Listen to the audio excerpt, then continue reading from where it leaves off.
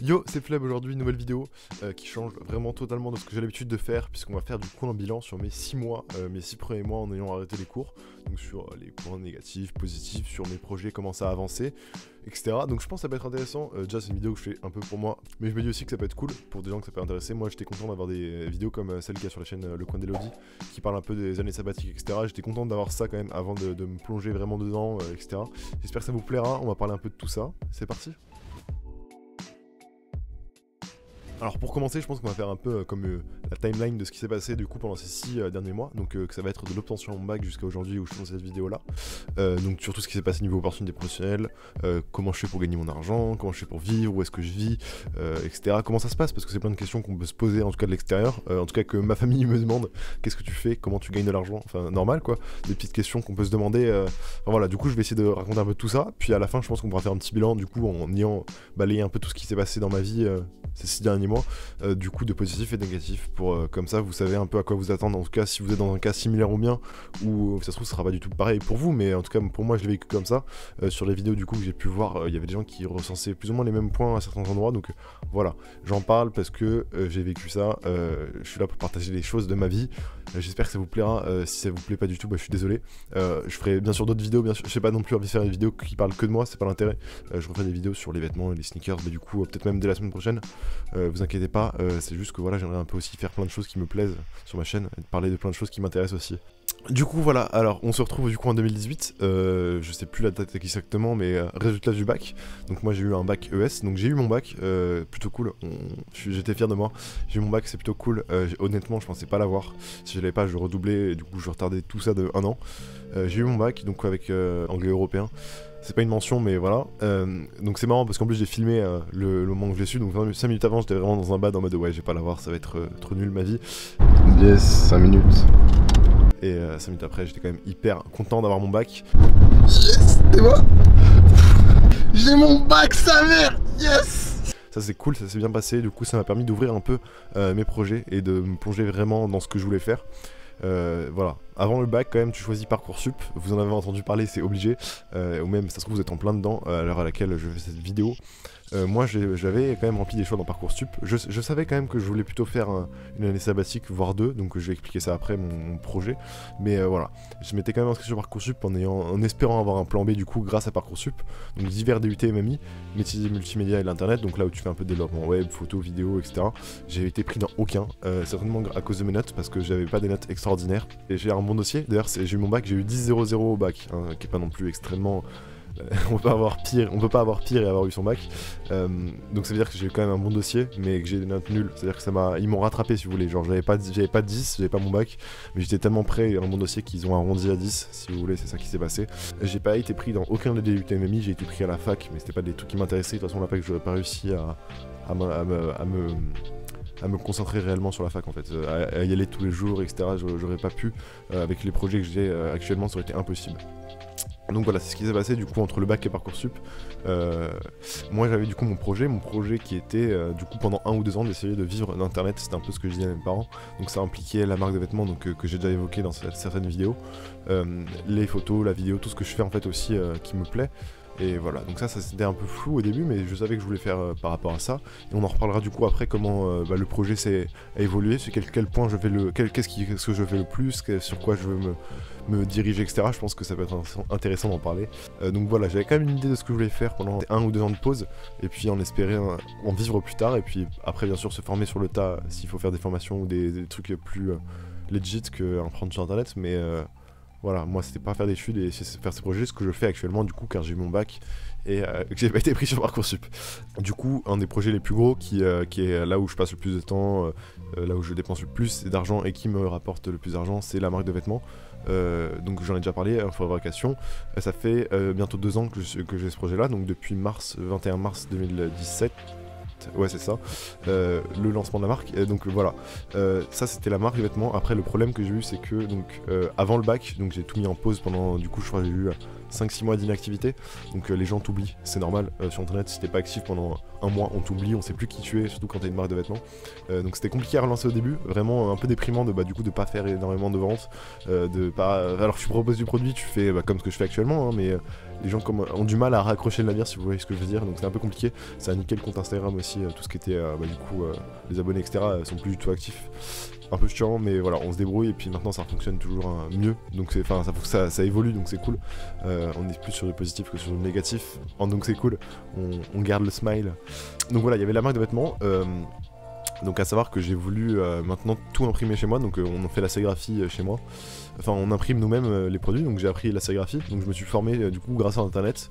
C'est un truc que j'ai appris pas tout seul, avec les gens qui m'ont qui, qui montraient sur internet, donc ça c'est plutôt cool c'est un des trucs quand même que je recommanderais, c'est d'essayer de se former quand même. On fait pas d'études, ok, mais essayer d'apprendre de nouvelles choses, parce que si on reste pas sans apprendre de nouvelles choses, c'est quand même vachement déprimant, je trouve.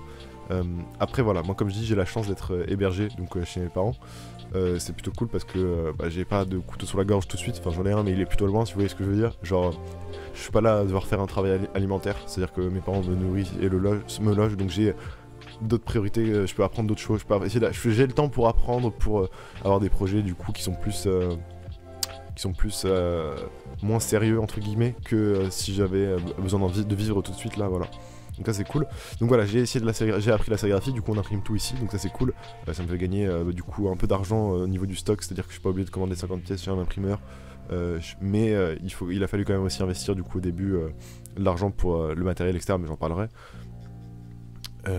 donc ça c'est cool, c'est un, bon choix je pense que j'ai fait de, faire en sérigraphie euh, bah, chez moi. En plus maintenant on fait de l'impression numérique et euh, de la broderie, on a accès à ça donc ça c'est plutôt cool.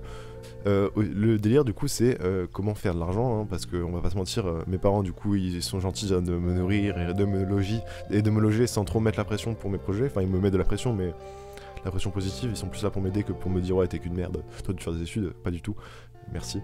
Donc j'ai ça, il faut que je euh, fasse de l'argent. Maintenant, comment je fais de l'argent? Au début, du coup, j'ai travaillé euh, dans une usine. Euh, ça, j'étais pas non plus dans les pires usines, hein. j'ai eu la chance, j'étais bah, du coup chez Christian Dior, les parfums. donc j'ai travaillé à peu près un peu moins d'un mois, ce qui m'a permis du coup de sortir un peu d'argent pour bah, du coup réinvestir tout dans la marque. donc j'ai mis bah, tout l'argent que j'ai gagné dans la marque et dans du matériel photo, vidéo pour euh, bah, YouTube. Euh, ça c'est cool parce que du coup l'argent que j'ai mis bah, est ressorti après du coup en, bénéfice, enfin en chiffre d'affaires si vous voulez. Et euh, j'ai plus besoin de retravailler dans des missions comme ça. et c'est à dire que là j'arrive à être indépendant avec la marque qui génère bah, du coup tout seul de quoi que je puisse me nourrir, si j'ai envie de manger autre part, si j'ai envie de sortir, etc. Si j'ai envie d'aller à Paris, si j'ai envie d'acheter du matériel, si j'ai envie d'investir, tout ça c'est la marque qui permet de le faire. Donc c'est cool, j'ai réussi un peu à me détacher de cette euh, pression de devoir peut-être retravailler un jour euh, dans un truc plus, plus simple qui me plaisait un peu moins. Euh, je me suis écarté de ça, donc ça c'est cool. j'ai eu de la chance par rapport à ce projet-là. Donc ça c'est ça c'est un, point où je suis assez content d'être devenu un peu plus indépendant financièrement de, de avant. bien sûr, je suis pas là non plus à vivre et payer un appartement et voyager et avoir une voiture, etc. Tout seul, non, pas encore. Mais on, on s'y rapproche doucement, on s'y rapproche. Donc voilà, j'ai travaillé, j'ai réinvesti tout. Euh, ah, donc en parallèle de la marque, ce que vous savez, c'est que je, bah, du coup, je fais des vidéos sur YouTube. Euh, YouTube qui est cool euh, pour plusieurs points. Donc c'est cool parce que déjà, ça me permet de promouvoir la marque, hein, de parler de trucs qui m'intéressent, créer une communauté, tout ça, c'est vraiment cool. Puis même interagir avec du monde, ça fait toujours plaisir parce que j'en parlerai après, mais tu t'écartes forcément un peu de tes potes quand tu bah, es dans un projet, je trouve, comme ça. Enfin, moi, en tout cas, c'est mon cas. Ça a été comme ça, je, me suis un peu écarté socialement. Enfin, c'était un peu plus compliqué, surtout au début.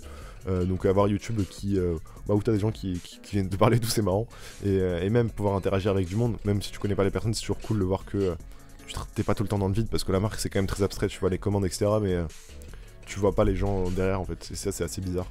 YouTube, tu vois que des pseudos aussi, mais c'est c'est toujours un peu cool d'avoir un contact vraiment humain plutôt que quelqu'un qui achète. Ce qui est cool, hein, je remercie forcément les gens qui achètent, mais t'as moins de, contact social, c'est pas comme dans une boutique physique où euh, tu vois la personne, euh, tu peux l'aider, enfin je sais pas, c'est. moi j'ai besoin de ça un peu quand même, euh, malgré que je sois tout temps solitaire dans ma vie, mais c'est un peu important je pense d'avoir ce contact humain.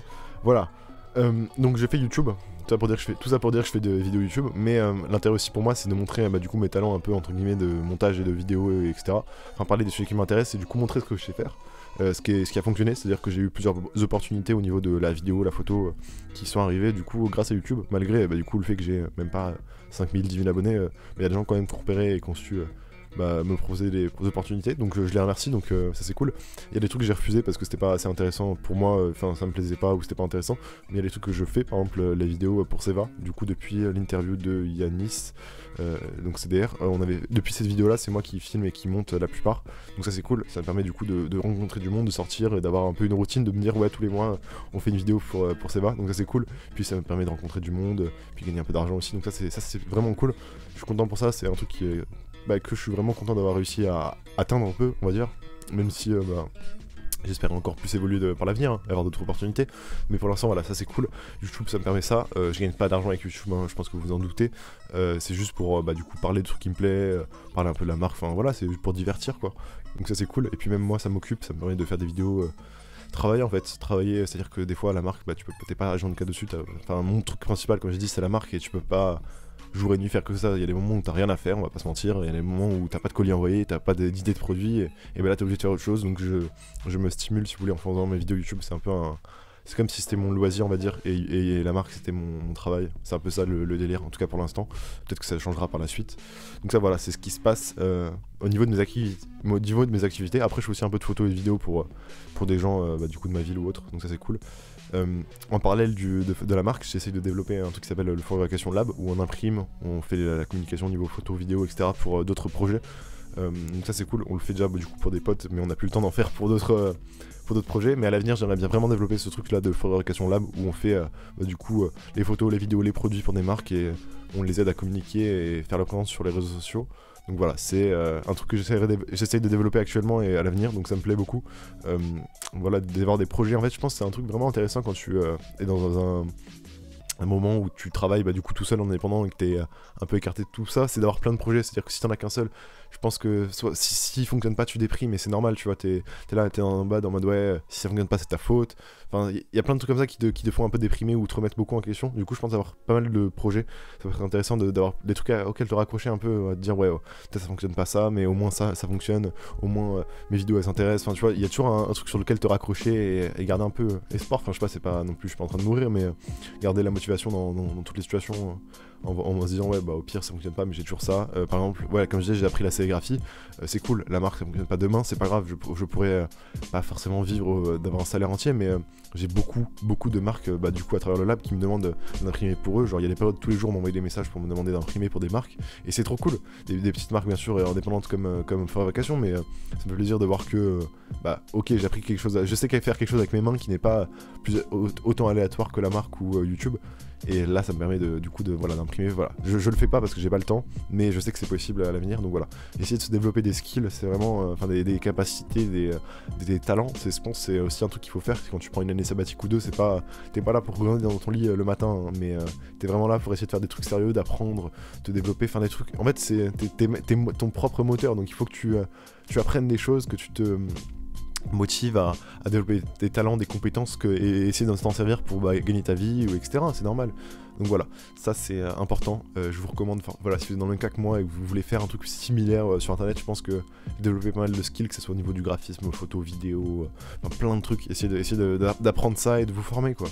Et sur internet, on peut tout apprendre, on peut tout apprendre. Et si t'as pas de cours ou de gens qui t'expliquent, tu peux observer, faire de la veille, du coup, voir comment on fait ça et regarder, bah tiens, eux ils font comme ça, ils font des stories comme ça, on va essayer de faire pareil, voir comment ça réagit. Enfin, c'est que l'expérimentation, mais, mais la plupart de mon temps, c'est que essayer des trucs.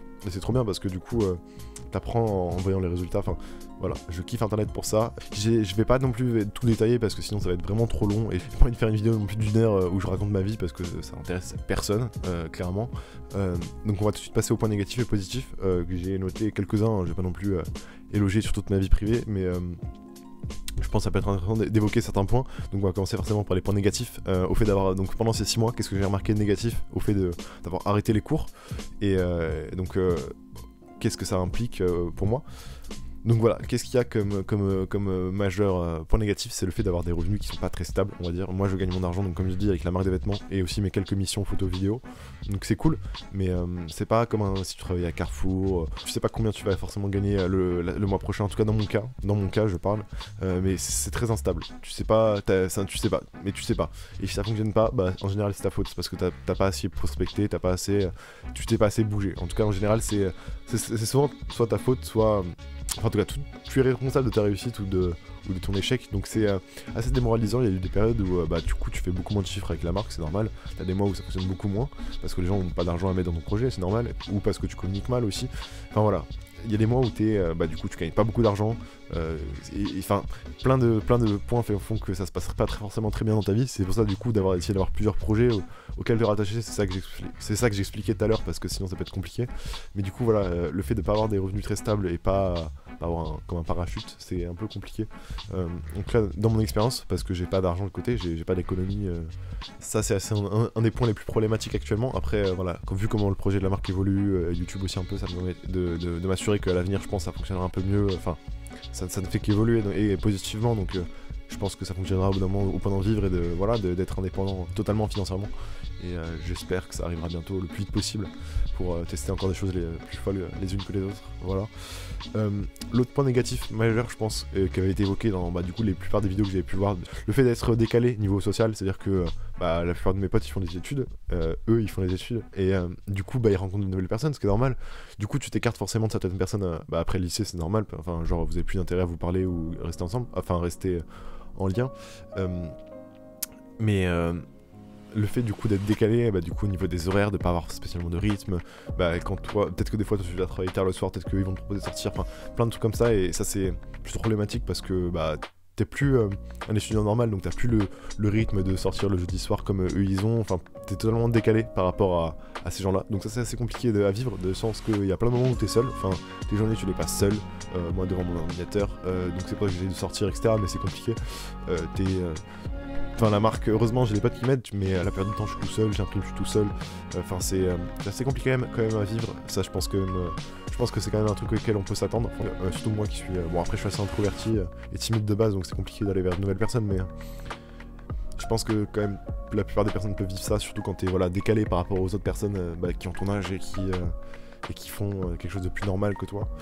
Donc voilà, le décalage social, c'est assez, assez un problème. Après, au, niveau de ma, au niveau de ma famille, il y en a pas mal qui comprennent pas mon choix.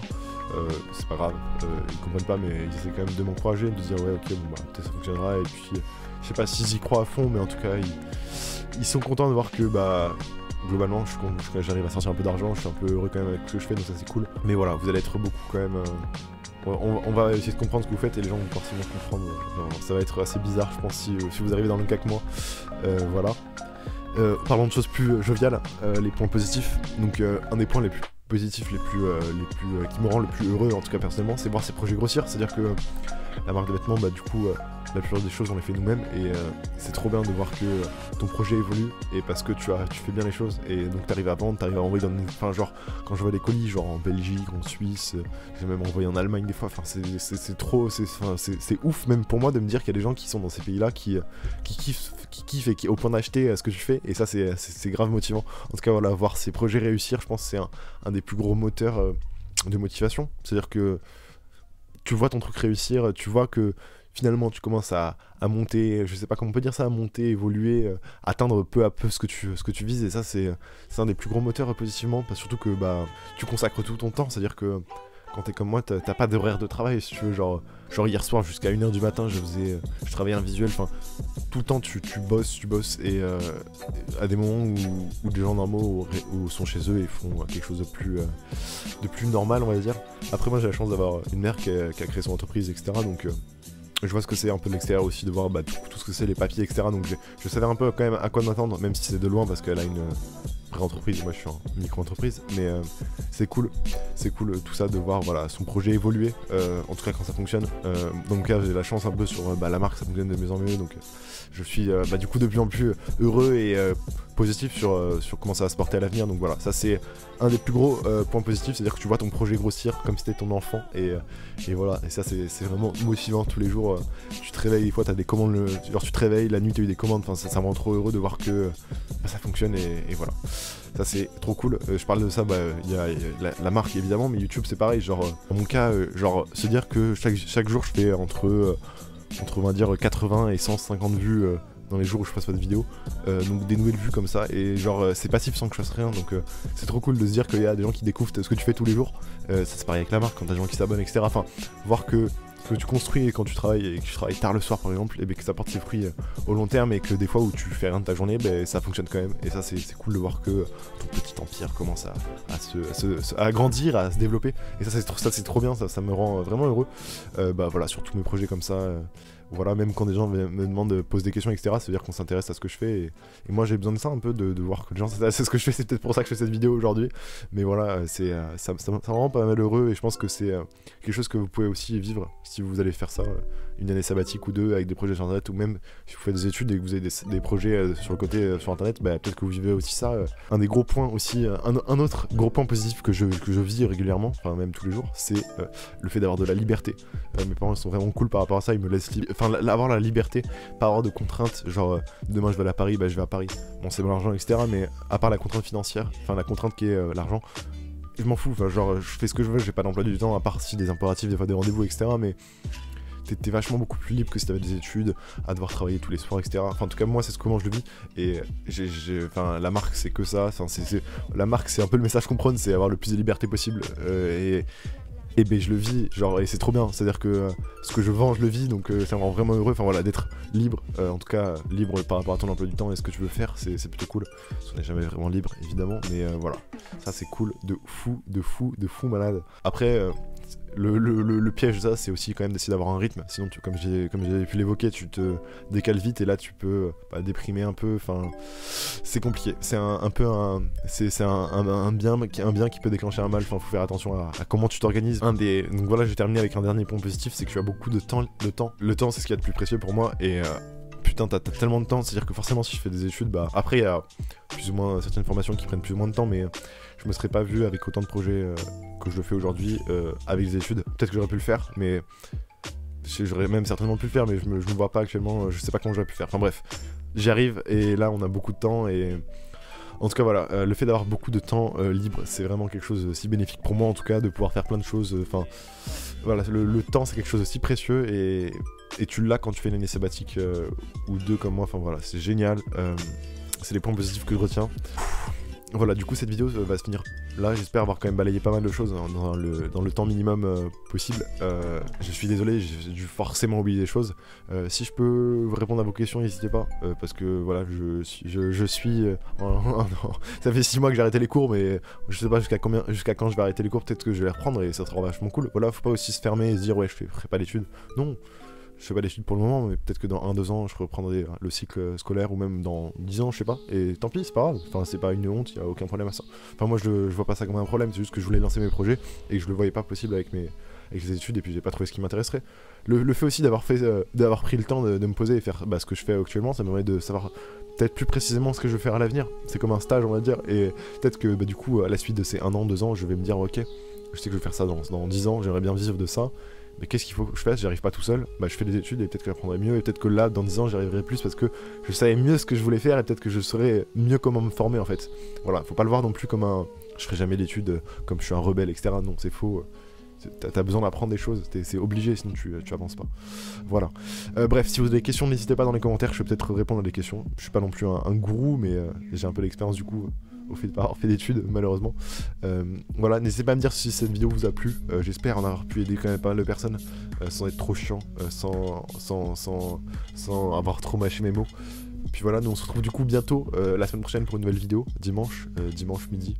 nouvelle vidéo qui arrive, voilà. En espérant que ça vous ait plu, vraiment j'espère que m'ouvrir un peu c'est un peu compliqué mais j'espère que ça vous aura plu. À la semaine prochaine, c'est parti.